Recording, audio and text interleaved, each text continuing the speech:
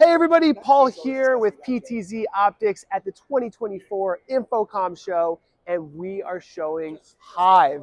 This is our brand new remote production software that allows you to control PTZ cameras from anywhere in the world. And we're showing some interesting new features here at InfoComm. One of the best things about Hive is that it is integrated directly into our PTZ Optics cameras. So that means you can take a PTZ Optics camera, connect it to your Hive cloud account, and then unplug it, ship it anywhere in the world. As soon as it connects to internet, you will have it in your Hive studio. Once your cameras are in your Hive studio, you can easily control them from any web browser. So that means you can just share a link with anyone. You can see this share button here. I can share a link with anyone in the world. They can be a viewer to view your PTZ cameras, a producer to control the PTZ cameras, or an admin, which allows that person in that role to invite others and manage the entire studio. This year, we are showing the studio set up for higher education.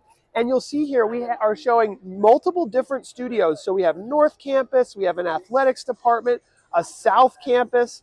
And what this does is it allows IT managers and AV managers to see all of their different rooms if they need to frame up a camera or check to make sure everything's working properly in their classroom or studio spaces.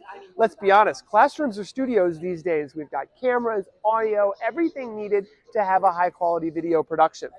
Now, another thing we're showing here is an improved monitoring dashboard here, giving us the ability to update the drivers, manage the video coming in, the computer and all of our recordings remotely.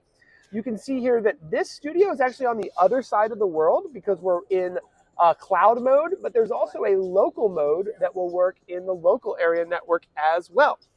Now, another thing we're showing is the PTZ Optics Hive controller here.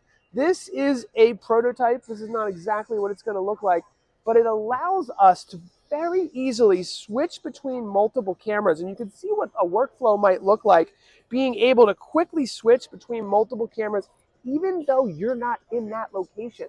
So the world of remote production is going to open up so many opportunities for remote management of classrooms, studios, and production spaces, which will reduce costs for many different audiovisual deployments. And if you have any questions, let us know in the comments below.